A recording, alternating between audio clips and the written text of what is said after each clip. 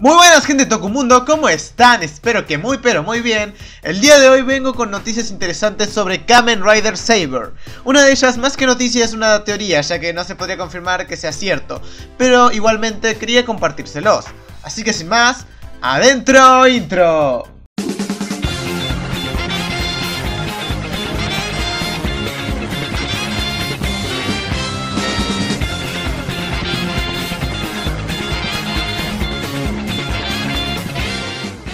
Para empezar, se anunció un nuevo Rider llamado Kamen Rider Slash, el cual tiene un diseño muy llamativo que en parte lo diferencia del resto de Riders que hay en la serie.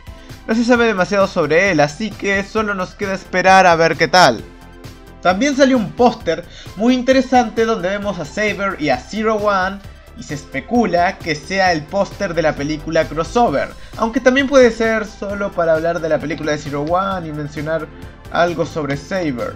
En caso de que sea del crossover, al ver bien el póster puedo deducir que volverá el concepto de las Movie World, donde cuentan dos historias diferentes de los Riders protagonistas y luego las juntan.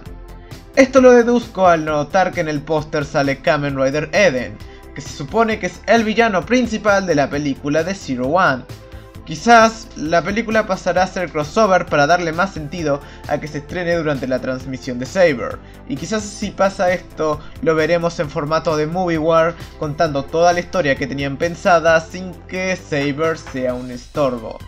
Díganme qué opinan en la caja de comentarios. Eso ha sido todo por hoy, espero que les haya gustado el video, si fue así pueden darle like, también los invito a suscribirse al canal y darle a la campanita para enterarse cuando subo un nuevo video, recuerden que los links a las redes sociales del canal y del grupo de WhatsApp se encuentran en la descripción. Y sin más me despido, nos vemos en la próxima, adiós.